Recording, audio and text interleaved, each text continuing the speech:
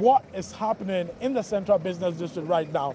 Um, a lot of us here say it's, it's not really normal, and they're attributing it um, to um, the Christmas. A lot of people we find here are also cashing in um, um, because um, some people from different parts of the country, people from different parts of the country, a lot of them come into Accra to visit their family members, some of them just to come and shop. They are taking advantage to cash in on the situation. Some drivers um, are not too excited about it, but it looks like um, they would have to endure it. Uh, it's part of the season, and that's what we're experiencing here, uh, Roland.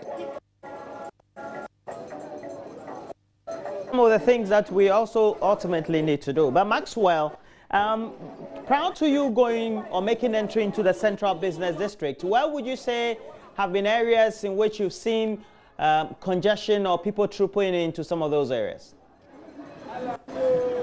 And that's Maxwell Agbagba. Maxwell Agbagba giving us a vivid uh, description of what really is taking place at the Central Business District of Accra. And you can see just from the live pictures that people uh, now warming up to the whole business of going shopping. I'm sure we'll reach a, a certain crescendo by